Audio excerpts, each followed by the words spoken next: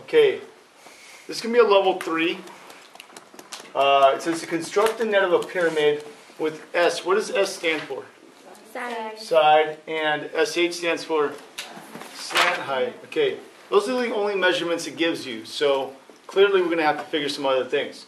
Well, it says to construct a net. So to construct means to use tools. What we're also gonna do though is we're gonna sketch the pyramid. So you actually have to do two different drawings for this problem. What I'm gonna ask you to do when you do this on your worksheet is that in this space, it's not big enough for a construction. It's only big enough for a sketch. So you're gonna do your sketch here, you do your construction on a separate piece of paper. Okay, so it says to do the construction first, right?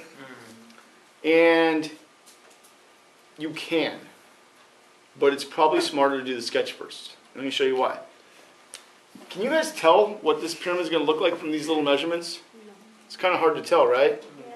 So if I sketch the pyramid, I'll see it better. Does that make sense? Mm-hmm. Okay, so sketching a pyramid, well, one of the things you need to know is how to sketch a pyramid. So everybody, if you're not sure how to sketch a pyramid, make one of those on your paper. Just that. And think about this. S equals 10 inches means the side length of the base is 10 inches. So how long would this have to be? Ten. 10 inches. By the way, this is a sketch, so do I have to measure this? No. Nope, it's just a sketch. How long would this be? Thirteen?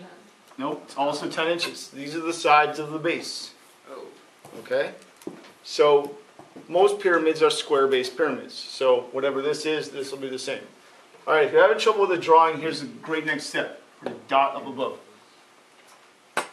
By the way, you should be doing this in your notes, not on your practice quiz. Oh. Ooh. Yeah. Yep. Yeah.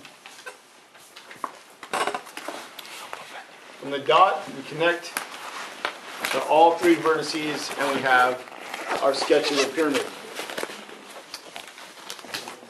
Next deal with the pyramid is that we keep dotted lines going from here to here, and then down to there.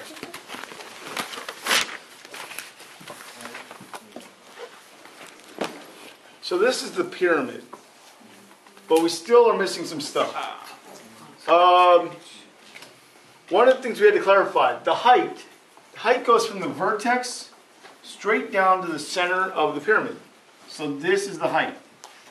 Do we know the height right now? No. The slant height goes from the vertex to the center of one of the segments. Do we know the, the slant height of this pyramid? No. Yes, we do. Pay attention. Uh, thirteen. 13, okay. So, this is 13, this is 10. This might be looking pretty familiar to those of you, especially if you think back on your warm-up. Mm-hmm. Mmm, Same problem. it's the same problem. This is the third time I'm giving you the same problem, isn't it? Okay. Because it pays to notice things. What's this distance here? Ten. 10. So what would this distance be? Five. 5. If that's 5 and you do the Pythagorean theorem, you're going to find out that the height is 12, okay? That's not really a news flash. Okay, the height is 12, the slant height was 13, the side length was what, everybody? Ten. 10, of course, okay? So we've got all that taken care of. Now all, all is left is find the surface area, the volume, and then construct the net. All right, so the surface area is going to be the area of the base, meaning the area of that square, plus the perimeter of the base times the slant height divided by 2. Right, the area of the base means the area of the square. If one side is 10, the area has to be 10 times 10 or 100. Everybody got that? And the perimeter of the base is going to be 10 plus 10 plus 10 plus 10. What's that going to be? 40. So it's going to be 40 times the slant height, which was what again? Thirteen. 13 over 2. Okay, common mistake time. We have addition, we have multiplication. What has to be done first? The multiplication has to be done first. We can write the 40 over 1 to give us a little reduction deal. That's always nice. What's 20 times 13? 20 times 13. Two sixty. 260, okay. 100 plus 260 will be your answer for the Three surface units. 360 Squared. Units squared. mm-mm, Oh, inches, inches squared. squared. Nice, cool. All right, that was our surface area. Volume is going to be one third area of the base times the height. So that will be one third times what is the area of the base? We already did it once. What was it? One hundred. 100. See, if you pay attention to what you're doing, you do less work. 100 over what? 1, because every number is always over 1. Okay, and then the height was what? Twelve. 12, so I'll write that over One. 1 as well. Do I have a reduction opportunity here? Yes, the 3 and the 12, right? The 12 becomes 4. These are all ones on the bottom, so now I just multiply. 100 times 4 is Four hundred. 400 Inches Inches. cubed. inches Cube. Cubed. cubed. Cool. Not that hard. Nope. Took it from words to diagram to solution. We will come back in a couple minutes and do the net. All right, we're gonna make this net now. Um, consider if I was to unfold this, what shape would end up being in the middle? Square. Square. A square. And how long would each side of that square be? Ten inches. 10 inches. Okay, I'm, I'm literally gonna do this, um, because I think there's a lot of little details we can talk about. 10 inches, 10 inches, 10 inches, 10 inches. Okay, obviously, am I gonna make you do a net this large? It'd be sort of ridiculous, you'd have to use a big piece of butcher paper, right? So we're not doing that. Um, but what I do want you to think about is, what goes here? A triangle. Yeah. All right. Let's let's kind of think about what that triangle should look like. I'm just going to draw a little fakey right here. If this triangle goes here, what's this distance? Ten 10 inches. inches. Good. Does anyone know how long this distance would be? Uh, thirteen. So I think a lot of people are going to say 13, but I want you to think about this. Look at this triangle right here. The slant height is the distance from here to here. So that's your 13. Does that make sense? Oh yeah. This is not 13. This is 13. Are you getting me there? Yeah. We actually don't have this measurement. We can figure it out with the Pythagorean theorem, but we don't know it yet.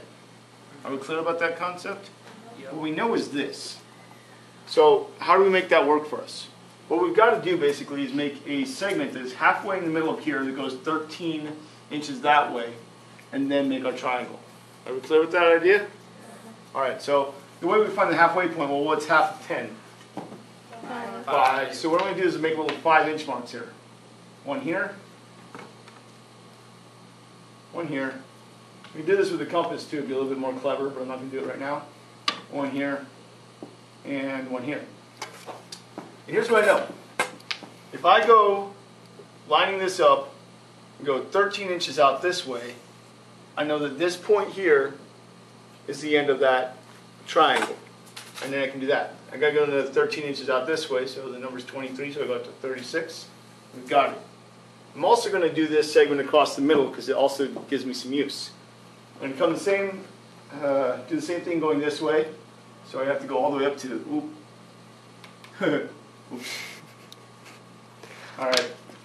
So yeah, I went off the whiteboard too, darn it. Uh, but everybody, this distance here is 13 inches. 13 inches. 13 inches and 13 inches. What I do now is I turn them into isosceles triangles. Isosceles meaning two sides are congruent. And I don't need to know how long these are, doesn't matter. And yeah, I do find myself slightly faking this, no big deal. Alright.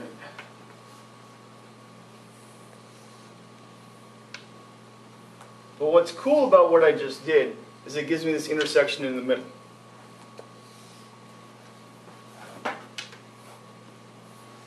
So that when I imagine taking this taking this piece and folding it up here, taking this one and folding it up here, it forms a vertex right here. And the vertex will sit directly above this point. How far above the point will it be? 12 inches. Mhm. See how that works? Okay. Cool. That's it for the net of the pyramid.